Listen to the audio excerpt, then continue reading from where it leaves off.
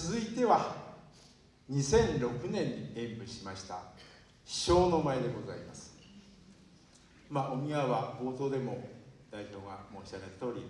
あの江戸歌舞伎の名優として歌われました初代松本幸四郎の生誕の地ということでございまして、まあ、歌舞伎を、まあ、よさこいのコンセプトにしまして曲作り衣装作りに取り掛かったわけでございます、まあ、チーム結成2年目ということで和気あいあいの将来像が少しずつ見えてきた時でございます。よさこい歌舞伎の第1号とも言ってもいい師匠の前でございます、まあ、この曲をもって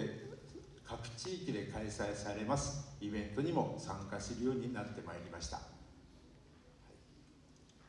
えー、先ほどよかっぺ祭りに参加した時に150名ということでございました。まあ冒頭でやはり代表が話しました。最初にですねあの予算会に取り組んだ時に195名がですね練習に参加していただきました。まあ約200名の方が千葉よさこい連絡協議会の皆様の指導によりあの時3回ほど練習をしてどっこいしょと千葉よさこい島を練習して11月の地元鬼川町のふるさと祭りでみんなで踊ったということでこれも後ほど、えー、10周年記念に作成したビデオで、えー、流したいと思いますのでちょっとご覧いただきたいと思います。まあこぼれ話も若干あるんですけども、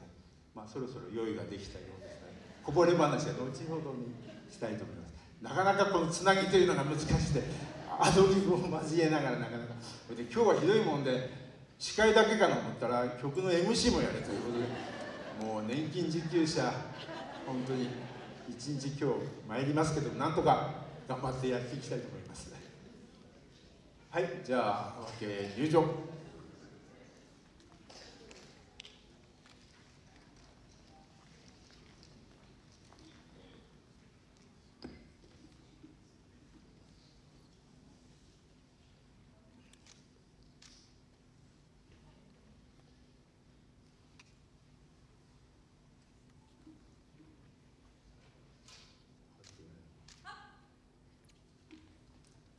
問われて名乗るもおこがましいが生まれは香取帯川罪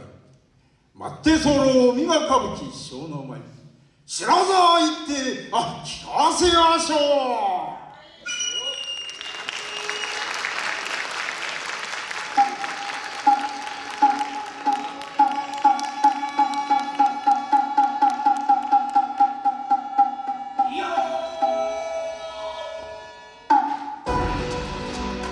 少女の鐘の声。諸行無常の響きは釈迦僧侶の花の色。乗車必須の断りを表す。溺れる者を久しからず。吐きき者も地域を滅び。ひとえ風の前の塵に同じ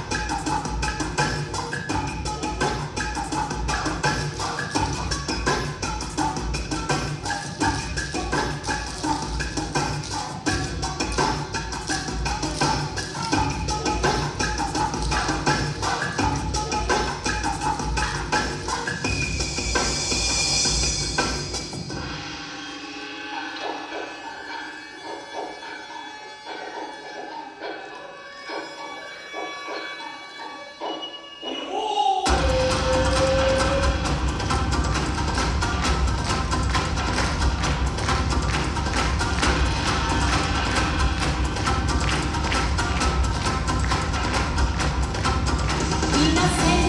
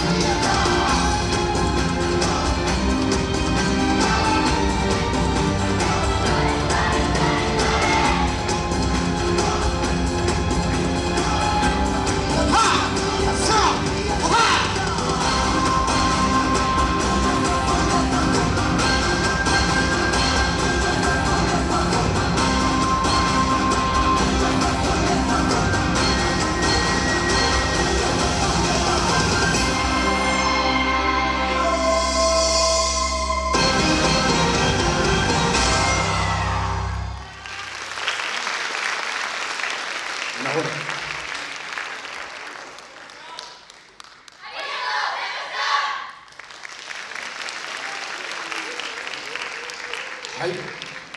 ー、小平が師匠の前でございました、えー